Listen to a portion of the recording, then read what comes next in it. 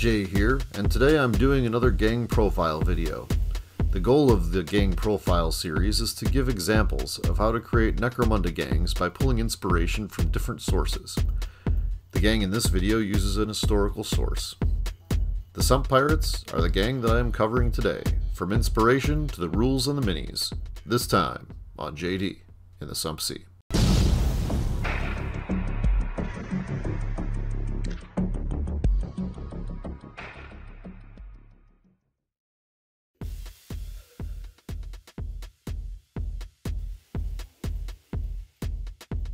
I first got inspiration for making pirates from the TV show Our Flag Means Death.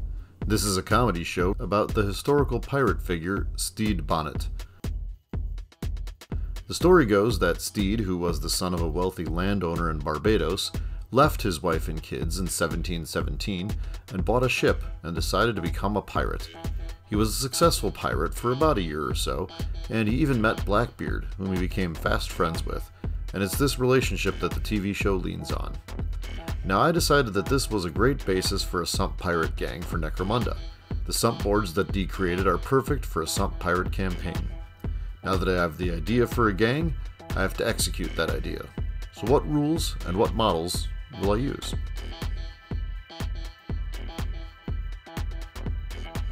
Since the leader of this new gang has run away from his family and friends and money, it would make sense that this gang would be an outcast gang built around an outcast noble.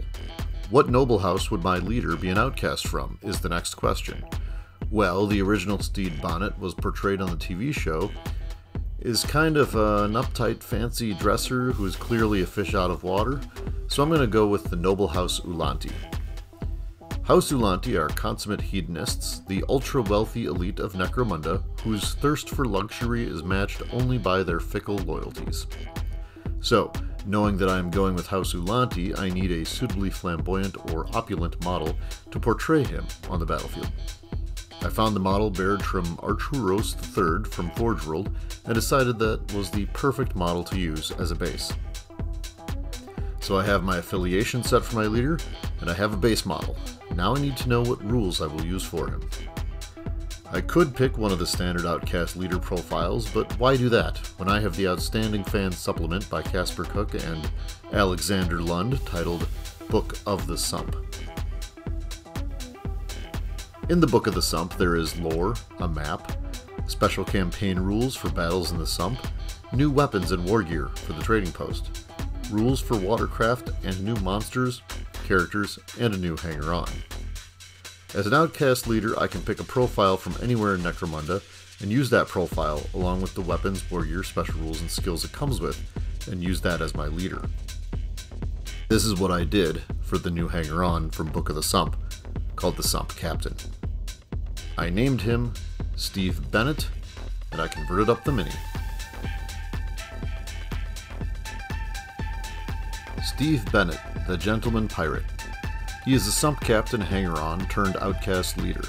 The weapons he comes with are a shotgun with both solid and scatter shot, in addition to an underslung auxiliary harpoon launcher.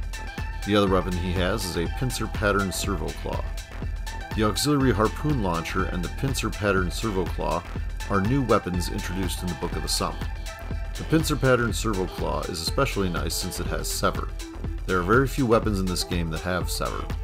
Basically, Sever says that when you get to the stage when you have to roll an injury die to see what happens to the opposing ganger you're fighting, instead of rolling that die, they're simply taken out of action. It's quite powerful. The auxiliary harpoon launcher is thematic, since sump spiders are defined and given stats, and the arbitrator is encouraged to use them in missions in the Book of the Sump.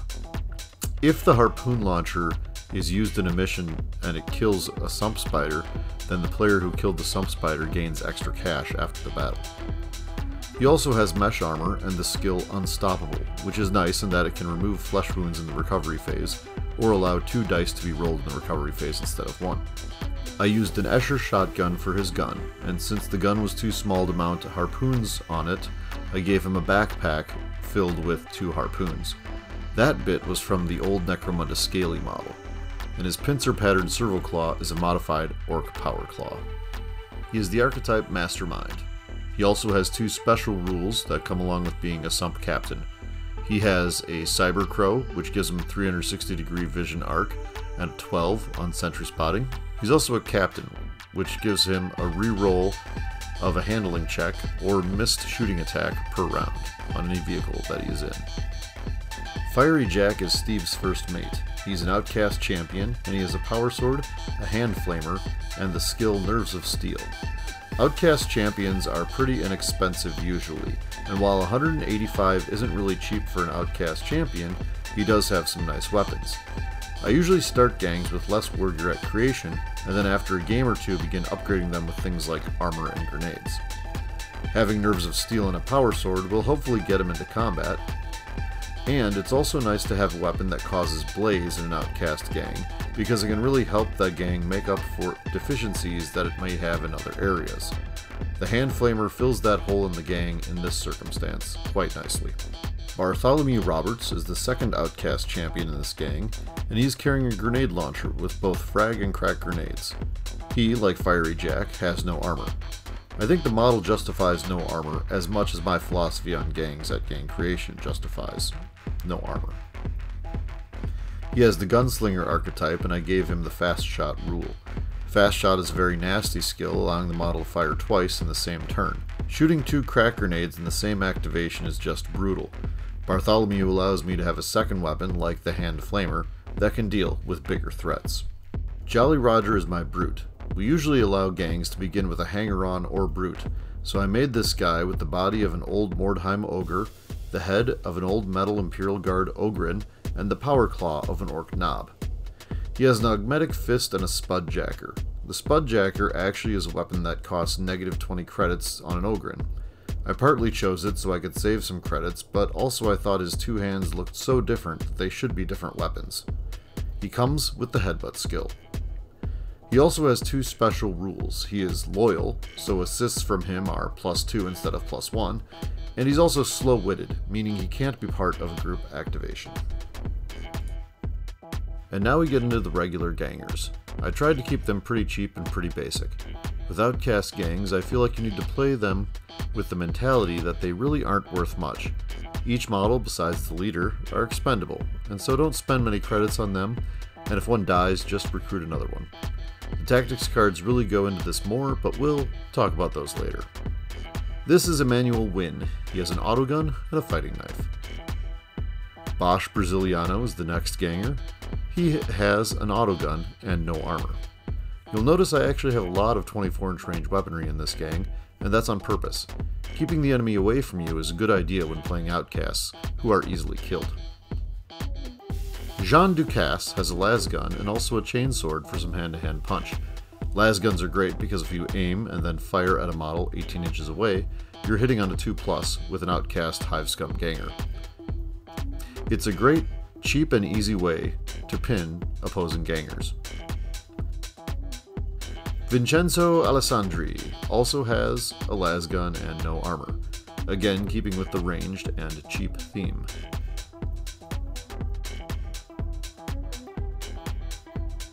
Francois de Lyonnaise has a lasgun and a fighting knife. Most of my gang are named after real pirates. This is another way to lean into the theme. If possible, look up names that go with the idea that you have. Rene Rochefort has a halberd, but in game terms it counts as a two-handed axe. He also has a stub gun.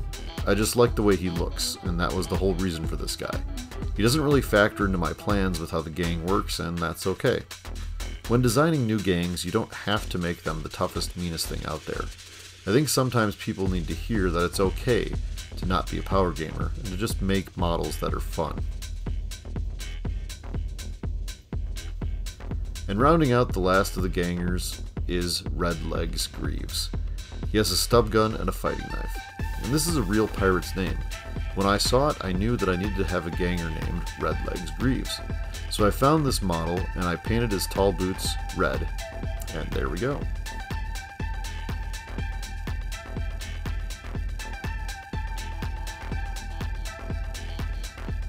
In our campaigns, we choose 12 tactics cards and we're allowed to pick two of them for each game.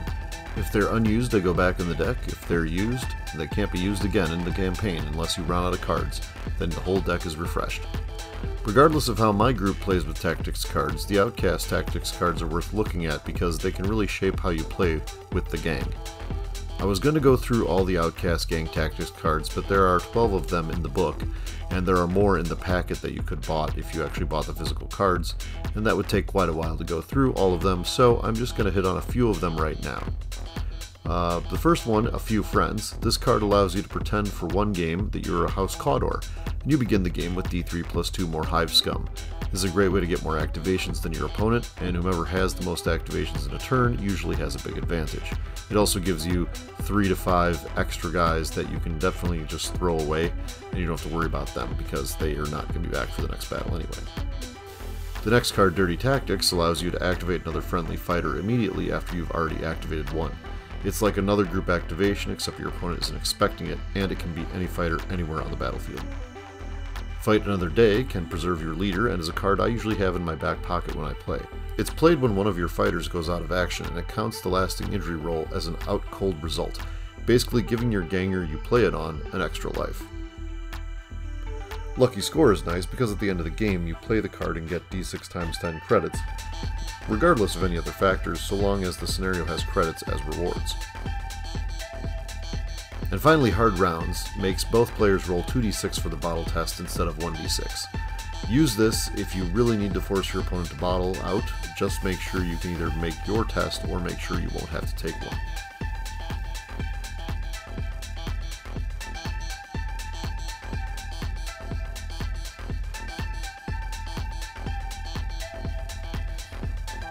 Well, I hope you enjoyed my look at my pirate gang and I hope I gave you some insight into how you can create your own gang using historical or other media as inspiration.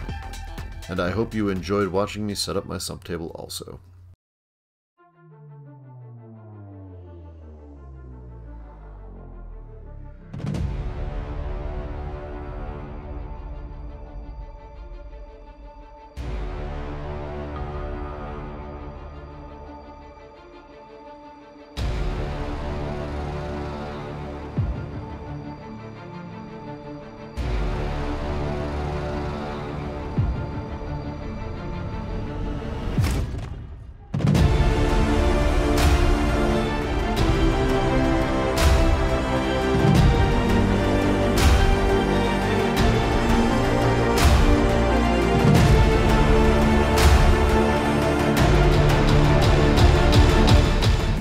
All I've got for you this time. Thanks for watching. Please like and subscribe.